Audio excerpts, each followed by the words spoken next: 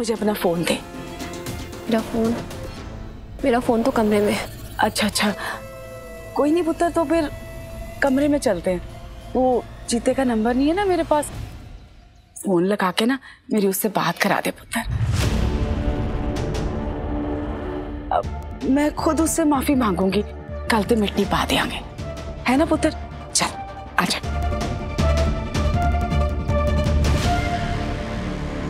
आजा चल जरनैल माफ़ी मांगनी है।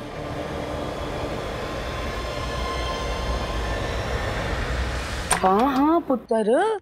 मैं समझती हूँ। जीते को भी गुस्सा आ गया होगा, भाई किसी को भी आ जाएगा। इतना उल जरूल बोला था जरनैल ने। पुत्र, तू तो बस उसे फ़ोन लगा दे। पहले ना मैंने उसे थैंक यू बोलना कि वो बच्चों को टूट के लेके आया।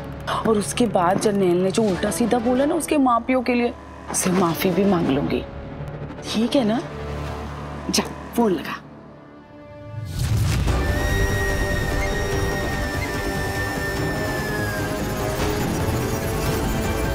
मम्मी जी मम्मी जी क्या कर रही आप? मम्मी जी दरवाज़ा खोलिए दरवाज़ा खोलिए। खून सड़े थी। मम्मी जी मम्मी जी दरवाज़ा खोलिए। प्लीज़ ऐसा मत कीजिए। दरवाज़ा खोलिए। बंद कर दिया उसको कमरे में। बाहर रहती ना। तो फ़ौरन चली जाती पुलिस के पास मदद मांगने के लिए। अब कुछ नहीं कर पाएगी। वाह मम्मी जी। आपको तो ऑस्कर मिलना चाहिए इस बात पे। हैं? ऑस्करा? हमारे पड़ोसी का कुत्ता? आ, ना ना मम्मी जी ना। फिर? एक्टिंग का अवार्ड है। अवार्ड तो पुत्र तू लाके देगा मुझे। उस जीते का सर। और उसके सर को रखूँगी मैं अपनी जुत्ती के नीचे। देख। तेरी पापा जी घर में नहीं है और तेरी वोटी तेज़ी वो भी घर में नहीं है। रहा सवाल हीर का तो उसका फ़ोन मैंने छीन लिया है। जाके भी अब वो किसी की मदद नहीं ले पाएगी। पुत्र अब तेरे रास्ते में कोई रोड़ा नहीं है। जा और जाके दिखा दे उस जट को। तुझे थप्पड़ मारने का अंजाम क्या होता है? अब दिखाता हूँ इस जीते को।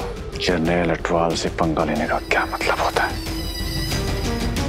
होना ने स्वाद पापा जी रीना दीदी कोई है कोई है मम्मी जी प्लीज़ मेरे साथ ऐसा मत करिए प्लीज़ प्लीज़ दरवाज़ा खोलिए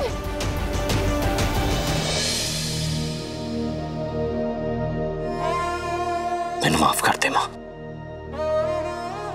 मैं तेरे ते गुस्सा आया उसमें तेरी क्या गलती है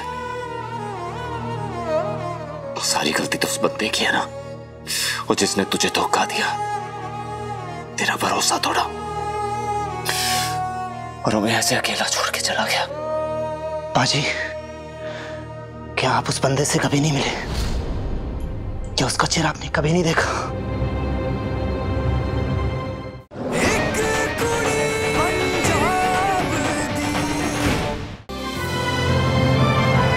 डाउनलोड कीजिए Z5 ऐप अभी और देखिए आपके पसंदीदा शोज़ कभी भी कहीं भी फ्री में।